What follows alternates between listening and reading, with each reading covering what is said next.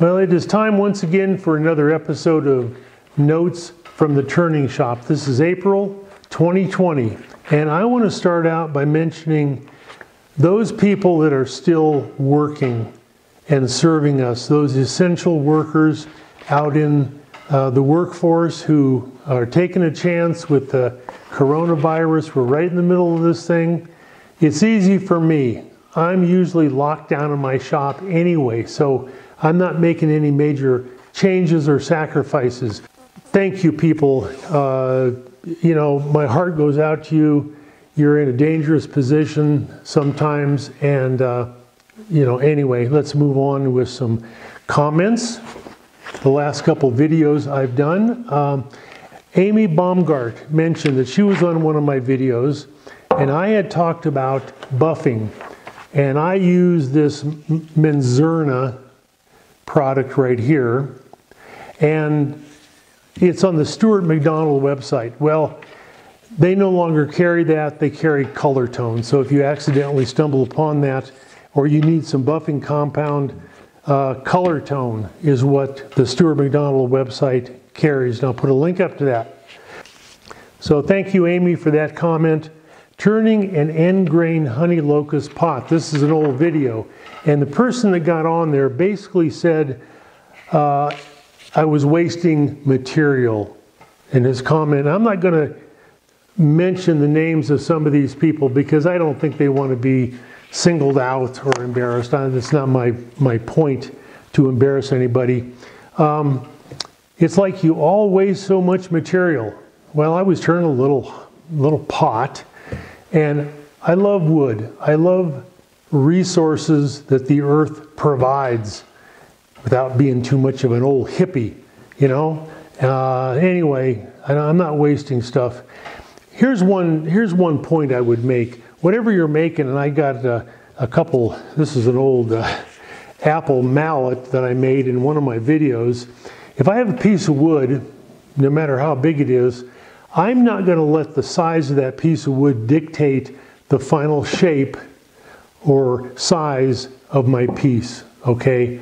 I may cut off a little bit, I may turn a little bit more that might go into shavings on the floor. But anyway, um, Ralph Pickering, next comment. I'd love to see a video on how you get the model finish on this particular piece. And, and what I was using was the uh, Verde metal reactive paint. And I think maybe what he was referring to was there were a lot of different colors in this, and, and maybe the, the finish was rather uh, non-gloss. It was a very satin, and what I use is something like an artist's fixative, and it just doesn't have any shine to it at all. But uh, that's kind of a complicated issue. But I, I need to do something more with the metal reactive paint because that is so much fun to, uh, to work with. Thank you, Ralph, for watching one of my old videos.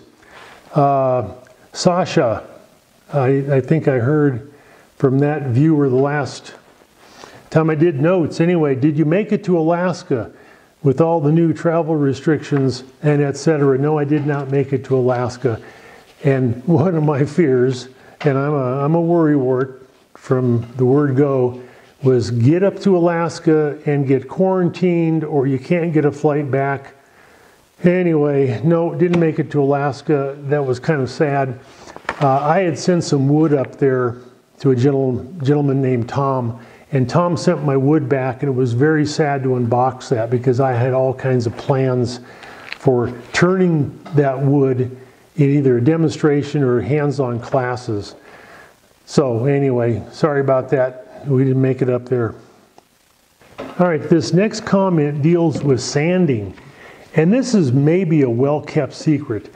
I don't think the, uh, the sandpaper industrial complex is going to advertise this fact too much, but he mentions or asked um, about sanding rosin to clean sandpaper, like a two inch sanding disc or something like that. And yes, I have these all over my shop. And, and I think you might find them under like a, a crepe.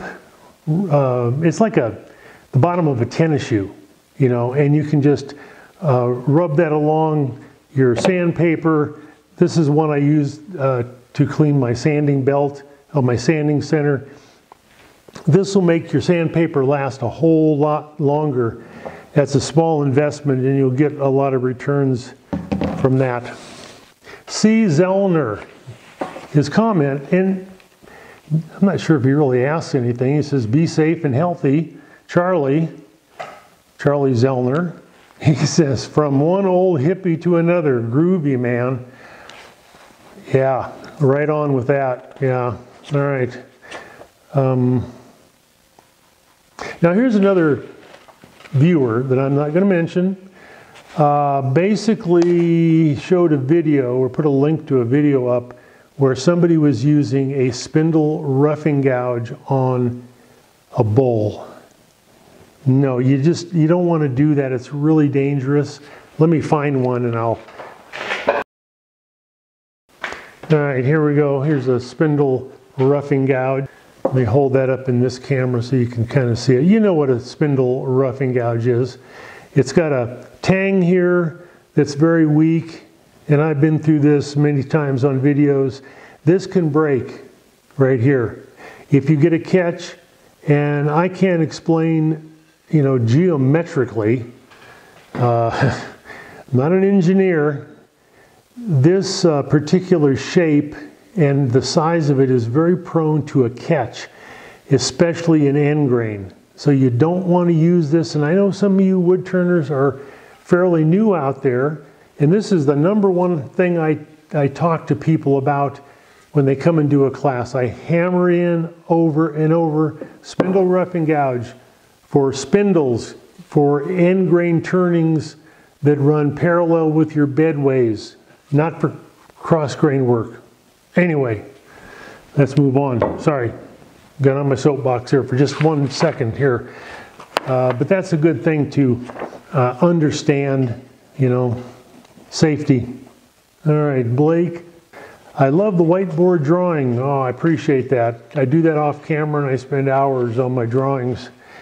Are you able to do the same uh, to show the shape and connection points for a jam chuck when you're turning a sphere? Now this particular video, which you might find out there, I was turning a sphere and I, and I used a jam chuck to finish it off. Um, one, one thing you might do when you're doing this kind of a jam chuck for a sphere is um, the jam chuck might be from a, a fairly you know, slightly wet wood. If it's really dry, it's not going to maybe grab onto that sphere as well. So that's a good, good thing you might do, but you just have to practice. You know, that's, that's kind of what it amounts to a lot of times. Practice, practice, practice. Um,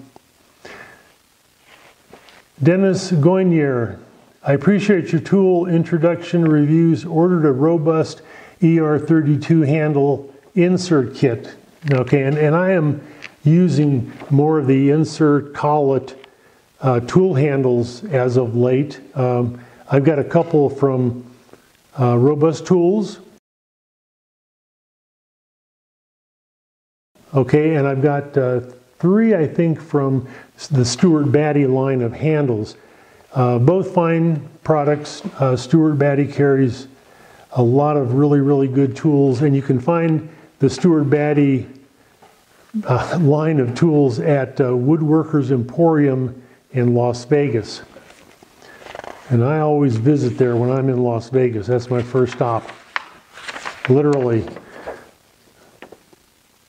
Uh, Kevin Coop, Sam, I am hoping that you are a far distance from the Yellowstone in Montana, the Yellowstone Park. I think he's referring to it. A couple weeks ago, we had um, an earthquake a little bit farther west in Montana. Uh, we didn't feel it here, but uh, you know that whole Yellowstone Park caldera thing, and that means there's a, volcano under there, and if it blows up, eh, we probably won't know it. If you get my drift. Um, oh, I like this. Bobby Fowler. Uh, what's the difference in colors on your tool handles? Good question, okay? So I've got spindle roughing gouges are a lighter green. And let me just show you this particular list here. Uh, spindle gouges, yellow, bowl gouges, red. I'm reading this backwards through this paper, so forgive me if I mess it up. Parting tools, a particular color. And the reason I did this is whenever I have somebody come into my shop to do a class, uh, some people have a hard time distinguishing between a bowl gouge and a spindle gouge. Well, uh, I do sometimes too. I've got to look at the flute, and you know, if if one is uh, yellow and the other one is another color, you can tell the difference. And I've got these hung up in a couple different places in my shop. Thank you for bringing that to our attention. Uh, Phil above or below center line, inside and out. On my video dealing with the scraper, controlling the scraper, I talked about, you know, where you hold that tool, this is not a scraper, where you hold that tool if you're on the inside of a bowl and on the outside of a bowl. And he just simply said, thanks for explaining that now. Oh, he says, I would ask if you could go over how to turn a traditional round scraper into a negative rake scraper. Well, let me find one and uh, else. Okay, let's see here. All right, now the question is concerning turning a regular conventional scraper into a negative rake scraper. Move some of this garbage out of the way here. Yeah. And yes, there are notes, actual notes. All right, where am I at here? now I got one, my one camera close in a little bit so I can show you uh, a traditional scraper right there. And this is one of my bigger scrapers. Uh, it's probably 3 eighths of an inch in cross section here, a nice hefty scraper. Um, how to turn a traditional scraper into a negative rake scraper. Okay, if I sharpen this on my sharpening wheel, platform is here and the wheel's coming down. All you do is just turn that tool over, sharpen another bevel right here on this tool. On this top bevel, it's up to you what the angle is and how far you want that bevel to come back. But it's not hard to do. You just do that on the, on the platform on your one-way system or whatever you got. All right. But that's a good question. And it's not hard to do. And sometimes if I'm not using a particular tool very much, it could be a skew chisel, it could be an old scraper or parting tool. I repurpose it and grind it into something else. All right. Randy Jones has a really, really good crest. Randy Jones has a really good question. Tips on scrapers. Just to make sure I understand correctly, the being above center line, inside and below, etc., uh, is it the cutting edge or the tool rest? Okay, uh, ordinarily when a wood turner on a video or something explains that or refers to that, it's the cutting edge. You, you want the cutting edge above center line or you want the cutting edge below center line. So that's kind of where we're at there. Do you ever use a burnishing tool to raise a burr? From Kenneth Nuttall. Great question. Now, uh, ordinarily when we sharpen a scraper, right there, um, when we sharpen it, the wheel's coming down right here and it raises a burr on the top of the tool. Now, I don't know if Kenneth is maybe an old woodworker. Let me find something that I would use to burnish that. All right, here we go. All right. Now, what I have here, this is just a, a little Tommy bar for taking a chuck out or tightening something that's on your spindle on your headstock. Now, to burnish this with this kind of a tool, you just take this and run it along the cutting edge right here, and you can raise a burr. A little bit difficult to do, but they actually make these kind of burnishers, this may not be hard enough steel. It's got to be pretty hard steel to do that, but that's how you would raise a burr. And in answer to uh, Kenneth's question, yeah, I do that once in a while. You know, I it, maybe if I don't want to go back to the grinder, I just pick something up and I and I can you know really really put a a, a pretty good burr on a tool just by burnishing it. And to define that, burnishing just means what I just explained. You're taking that uh, piece of steel right here and you're running along the cutting edge from the underside. That's an old woodworking tool like a cabinet scraper uh, or a hand scraper.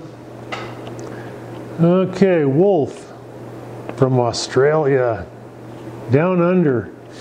Now we're supposed to get into warmer weather and I always tease these guys, you just made it through your summer and now it's your turn to get cold. Sorry about that, Wolf, but uh, if you could see outside right now, it's snowing, so I don't know. Um, I've noticed that you do not use a specialty curved bowl rest.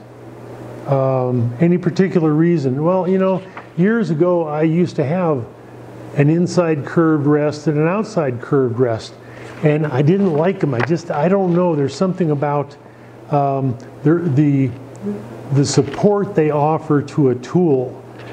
Um, okay, I had to find a, a tool rest. All right, so I'll put this tool rest up here.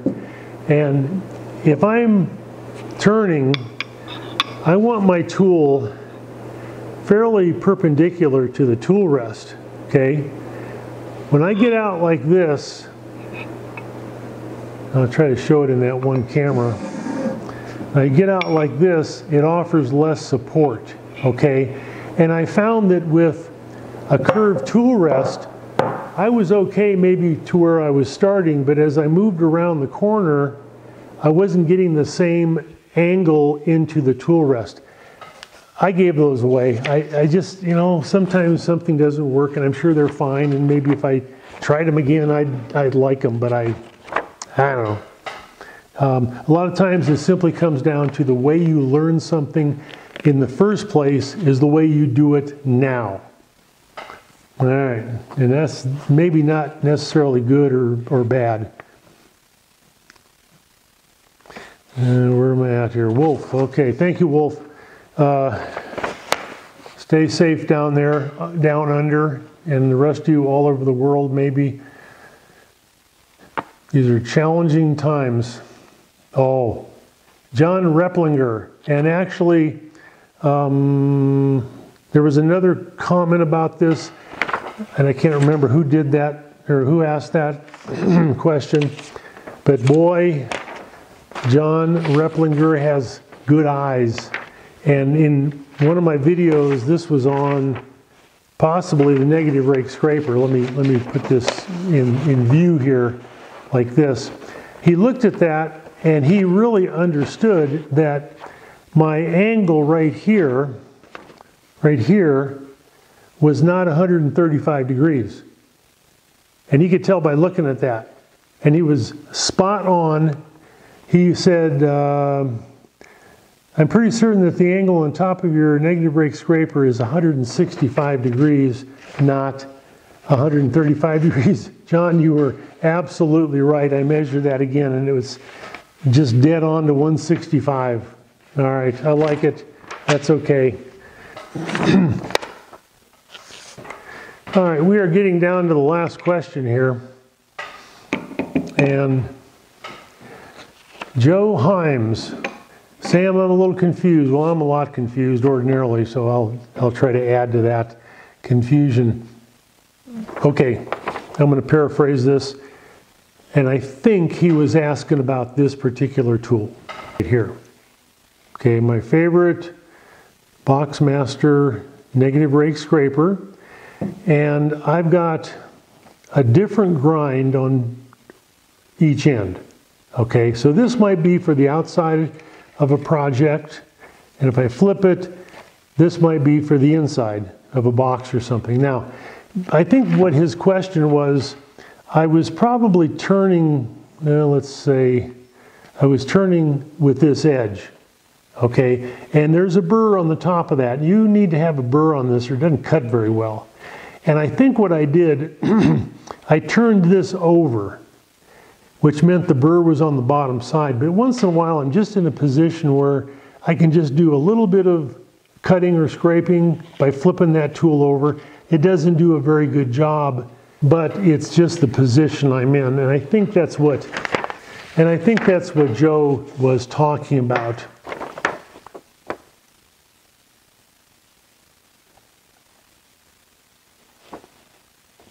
He says you took the tool on the acrylic I was turning cast resin apparently and flipped it and then went back to turning. Did you have a burr on both sides? Well, you, you really can't have a burr on both sides. But anyway, I think that that's what he was talking about. Um, I've been trying to teach my wife how to turn, and she's done very well. It's a very complicated issue, a very complicated skill, I should say.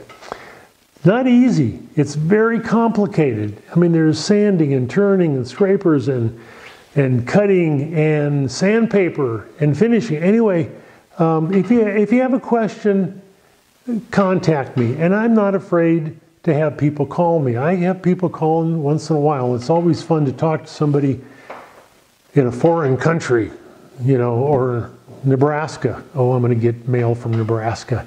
Just kidding.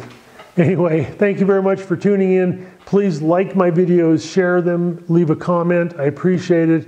Uh, we're all kind of stuck inside our homes or our shops, unless it's some of those workers I mentioned out there doing their jobs, serving us. Appreciate that. I'll talk to you next time. Thank you. This is Sam in a very cold and chilly Montana.